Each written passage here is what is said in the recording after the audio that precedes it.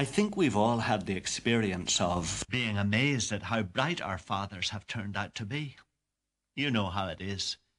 There's that period of our lives, somewhere around 13 years of age, and it carries on until maybe 21, and sometimes, unfortunately, until we're 25 or 26, when we think that the dumbest people in the world must be our parents. And then after we begin to find out what life's about, we come right round to where we started. And we started as children, of course, thinking that our father was the wisest man in the whole universe. And it's amazing how often we come back to that. How often we come back to the place where we're amazed how wise and how clever our fathers are. And so we end up back where we started, surprised that we find truth and we find reality right in the place where we originally thought it to be, but where we began to suspect it wasn't. And that's what I think a lot of us find out about modern problems today. We get all wrapped up in all kinds of theoretical issues. Who am I? Uh, what is my identity? Uh, what is life about? Uh, how do I establish my own significance? With the other significant authorities in my life, etc., etc., etc. And we can go on forever with these philosophical and psychological deep conundrums that we pose to ourselves. But perhaps the greatest one of all, of course, is uh, what are we involved in here? Uh, what is the purpose of our lives? What is the meaning of our lives? Why are we here? And the problem that all of us have in answering that question is that we're all just giving human opinions and even the great religious leaders are giving their opinion because nobody seems to have any experience outside the world itself by which they can establish and reinforce that what they say is actual reality. That is, no one except one man. There is only one man who has shown that he has come from outer space and has the power to go into outer space and return into the world whenever he chooses, and that is a bit like what we find about our fathers. Uh, we find that the answer is back where we used to think it was, but uh, where we grew cynical about it in our adolescent years. It's this man, Jesus of Nazareth. It's the one that we were taught when we were children was the son of the creator of the world. It's back with him that we have to find any evidence of what is beyond the sky and what is beyond Saturn and what is beyond Venus and what is beyond the furthest spot that our satellites have reached. Because this is the only man who has shown historically that he is anything more than an ordinary human being. And of course, he has shown it uh, not only by the fact that he talked like the person who would be the son of the supreme being that lies behind the whole universe, not only because he acted like him, not only because he lived a life that even his enemies admitted was an absolutely perfect, sinless one, not only because he had the power over sickness and death that he showed when he raised people from the dead and healed lepers and blind men and deaf men, not only by the fact that he had power to still a storm on a lake, but also above everything else, because of this event that is connected with his death. Indeed, all of the evidence that this man was the Son of God pales before the one event in his life that sets him apart from all other religious leaders and prophets. He said throughout his public ministry that he would rise from being dead on the third day, and he did.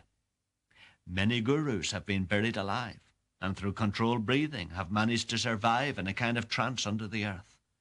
But none have been executed by experts like the Romans, and then actually risen from the dead. That's what happened with this man.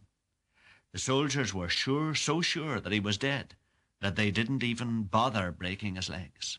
They simply thrust a spear into his side and a mixture of blood and water poured out. Then he was buried in a private tomb, bound tightly in grave clothes, and then a large stone was rolled across the mouth of the grave. On Sunday morning, he was buried on Friday night, he met Mary, one of his followers, in the garden. When she reported it to the other disciples, they wouldn't believe her. But in a moment, Jesus appeared suddenly in the room with them. He did this for the next month or more, appearing on more than a dozen occasions. Sometimes he appeared to a few of them, sometimes to more than 500 at one time. Sometimes he ate breakfast or allowed skeptical Thomas to poke his finger into the holes in his hands to make it clear that he was not a ghost or a psychological hallucination. Then he explained that he must return to his Father, the creator of the universe, and his body has never been found on earth since. All the hypothetical explanations of the resurrection are harder to believe than the facts themselves. The two vital facts are the empty tomb and the resurrection appearances. The old arguments that Jesus just swooned on the cross and was revived in the coolness of the tomb, or that the disciples or the Romans stole the body, aren't even very logical. How could a man whose side had been speared by the Roman experts as already dead have recovered from his wounds so completely that he could not only free himself from the grave clothes, roll away the heavy stone, but could appear at a do- dozen different locations over the next month and appear not only revived but more alive than he had ever been before. It just doesn't make sense. If the Romans stole the body, that's another argument. Why didn't they parade it through the streets to prove that this man was not the Messiah? If the disciples stole it, that's another argument. Why did they die for what they knew to be a lie? A man might die for what he believes to be the truth, but he will not die for what he knows to be a lie. The same is true of the suggestion that the resurrection appearances were just hallucinations. They just don't fit the psychological criteria for such phenomena. Hallucinations occur usually to one person who desperately wants to see the deceased person. Jesus appeared always to groups of people, and normally they had given up all hope that he would rise from the dead. Hallucinations usually continue over a lengthy period of time. Jesus showed himself alive for about 40 days and then disappeared from the earth. Because of evidence like this, scholars hold that no fact of history has been examined so comprehensively by legal, medical, psychological, religious, and historical experts and emerged so unchallenged as to its veracity. If Jesus didn't rise from the dead, then we can be sure of nothing in mankind's past history. But perhaps one of the best proofs that he must have risen from the dead was the effect that it had on the people who followed him. What was it that changed a band of frightened, cowardly disciples into men of courage and conviction? What was it that changed Peter from one who the night before the crucifixion was so afraid for his own skin that he three times denied even knew, knew Jesus? and he was changed into a roaring lion of the faith. Some fifty days later, Peter risked his life by saying he had seen Jesus risen from the dead. He preached it in Jerusalem, where the events had taken place, where the facts could be verified, and where his life was in danger. Only the reality of the bodily resurrection of Jesus could have produced this change in the disciples. Only the resurrection of this man from the dead could split history into BC and AD. I mean, it's amazing, isn't it? Here we are. We talk about before Christ, we talk about Anno Domini and the year of our Lord or after Christ. We've split the whole of history into half on the basis of this man's birth and death. Why would we do that? Unless there was something incredibly remarkable about this man that sets him apart from all other men. Why do we still keep Christmas? I know we can argue about the winter solstice and about all kinds of heathen practices, but the fact remains we still talk about Christmas, Christ Mass. We still talk about Christ. We still talk about the baby in the manger. Is it just because we like babies and we like giving presents? Well, we certainly do that. But don't you think that mankind is not just idiotic? We're not just an insane bunch of people who are utterly unbalanced.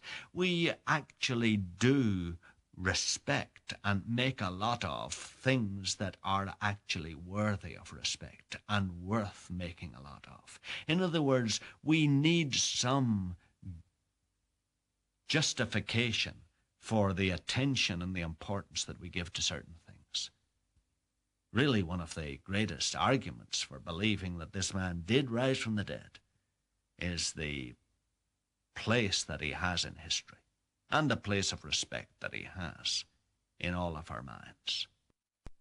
This man, Jesus, was the Son of God.